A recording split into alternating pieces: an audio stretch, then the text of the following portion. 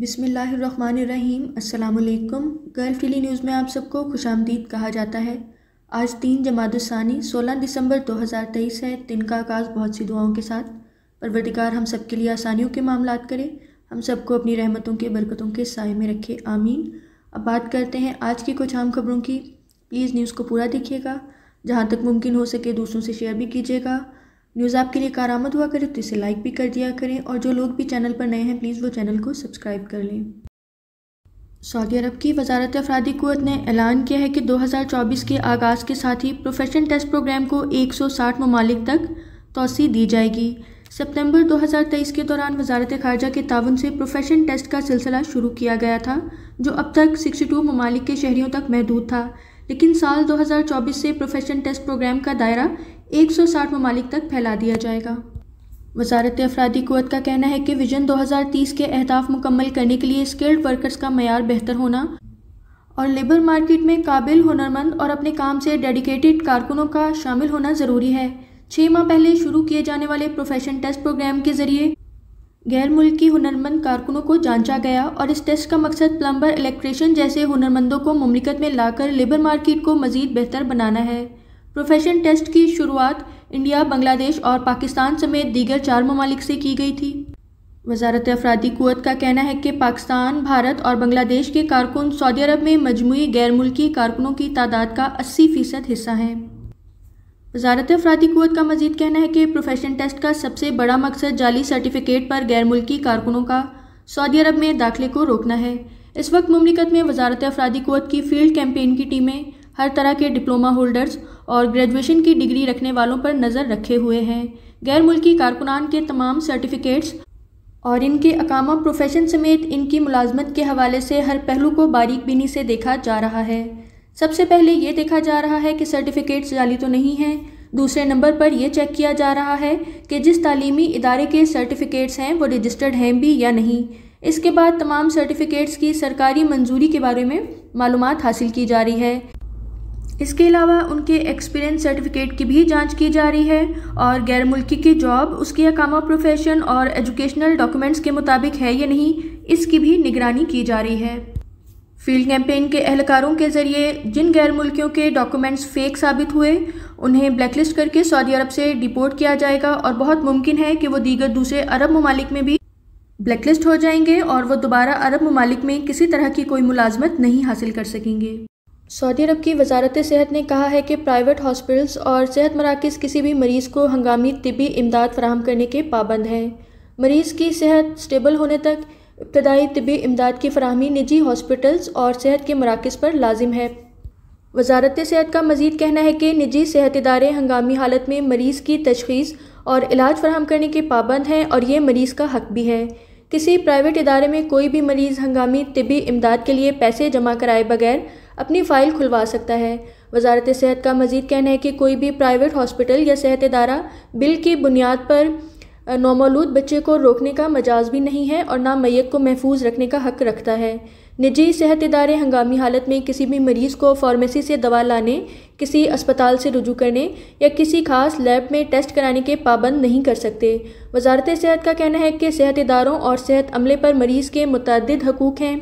तिबी अमले के लिए ज़रूरी है कि वो मुआयना करते वक्त ग्लव्स पहने और साथ साथ हाथों को सैनिटाइज भी करें। मरीज़ की तशखीस और इलाज के लिए टाल मटोल से काम ना लिया जाए। और मरीज़ को यह हक भी हासिल है कि वो तिबी अमले के ज़रिए अपनी वीडियो बनाने की इजाज़त ना दें। मरीज़ को यह हक भी हासिल है कि वो अस्पताल या सेहत इदारे से निकलते वक्त अपनी तमाम रिपोर्ट्स हासिल करें और मरीज़ अपने पहले तिबी मुआयने की तारीख से लेकर अगले चौदह दिन के दौरान प्राइवेट अस्पताल में दोबारा मुफ़्त रुजू कर सकता है। सऊदी अरब के सिक्योरिटी इदारों का कहना है कि इन दिनों ममलिकत के मुख्तलिफ़ शहरों में पुलिस की जानब से ऐसी गाड़ियों के मालकान के खिलाफ मुहिम शुरू की गई है जो अपनी गाड़ियों के सामने और पिछले हिस्से के बम्पर्स के कुछ हिस्से काट देते हैं। पुलिस एहलकारों का कहना है कि जिन गाड़ियों के बम्पर्स के हिस्से काट दिए जाते हैं इनके मालकान पर एक हज़ार रियाल जुर्माना आयद किया जा रहा है। इन दिनों सोशल मीडिया पर गाड़ियों के बम्पर्स काटने का ट्रेंड ज़ोर पकड़ने लगा है और अब ये एक फ़ैशन की सूरत भी इख्तियार करने लगा है। बहुत से नौजवान अपनी गाड़ियों के बम्पर्स के कुछ हिस्से काट कर इसे नए फ़ैशन का नाम दे रहे हैं। इसके बरक्स ट्रैफ़िक कवानीन के मुताबिक गाड़ी को बम्पर्स के बगैर चलाना ट्रैफ़िक खिलाफ वर्जी में शुमार किया जाता है, जिस पर कम अज़ कम 900 रियाल का जुर्माना आयद किया जाता है। गाड़ियों में किसी किस्म की खराबी पैदा करना, उसकी बॉडी या कलर को ख़राब करने की सूरत में गाड़ियों को पीरियोडिक इंस्पेक्शन का सर्टिफिकेट जारी नहीं किया जाता। और टेक्निकल सर्टिफिकेट ना होने की सूरत में गाड़ी मालकान के खिलाफ चालान किया जाता है। इसके अलावा ऐसी गाड़ियों के ट्रैफ़िक हादसे की सूरत में इस वक्त तक गाड़ी की रिपेयरिंग या मेंटेनेंस नहीं कराई जा सकती, जब तक ट्रैफ़िक पुलिस की तरफ़ से एनओसी जारी ना किया जाए।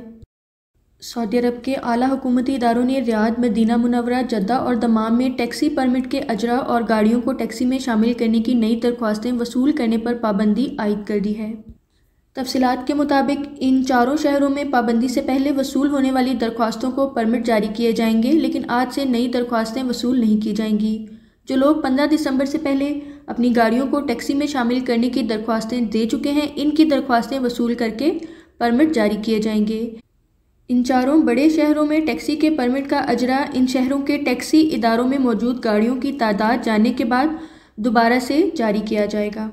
सऊदी अरब के वजारत हजुमरा ने ऐलान किया है कि विंटर सीज़न में उम्र ज़ायरीन अपनी सेहत का खास ख्याल रखें ताकि उम्र के दौरान इबादत को मज़ीद बेहतर अंदाज से किया जा सके। वजारत हजुमरा की जानब से उम्र ज़ायरीन के लिए जारी की जाने वाली एहतियाती तदाबीर में कहा गया है कि मौसम सरमा में फ़्लू, खांसी और नज़ला ज़ुकाम आम हो जाता है उम्र ज़ायरीन को एहतियाती तदाबीरों पर अमल करना चाहिए और हाथों और जिसम की सफ़ाई का भी खास ख्याल रखना चाहिए। फ्लू की सूरत में फौरी तौर पर मुकर्रा तिबी मराकज से रुजू करें, जहाँ मौजूद तिबी अमला उन्हें ज़रूरी मेडिसिन फराहम करेगा। इम्यून सिस्टम को स्टेबल रखने के लिए मुतवाजन गज़ाएँ लाजमी खाएँ। फ्रूट्स और वेजिटेबल्स को खाने से पहले अच्छी तरह उन्हें धोएँ। इस दौरान ऐसे लोगों से मुसाफा करने से गुरेज किया जाए, जो सांस की बीमारियों में मुबतला हैं। छींक आने की सूरत में मुँह पर रुमाल रखें या टिश्यू पेपर का इस्तेमाल करें। उम्र के सफ़र पर रवाना होने से पहले इस बात को यकीनी बनाएँ कि आपने फ्लू की वैक्सीन लगवाई है। इन एहतियाती तदाबीरों पर अमल करते हुए उम्र ज़ायरीन ख़ास तौर पर फ्लू और नज़ला ज़ुकाम जैसी मामूली बीमारियों को वबाई अमराज की सूरत इख्तियार करने से रोक सकते हैं। कसीम रीजन में ट्रैफ़िक हादसे में आठ अफराद के ज़ख्मी होने की इतलात मौसू हुई हैं। तफसीत के मुताबिक ज़ख्मियों को एयर एंबुलेंस के ज़रिए और रेड क्रेसेंट की टीमों के ताउन के साथ अस्पताल मुंतकिल किया गया है। रेड क्रेसेंट का मजीद कहना है कि पैरामेडिक्स की तीन टीमों ने हादसे की जगह पर पहुंचकर जख्मियों को फ़र्स्ट एड दी है।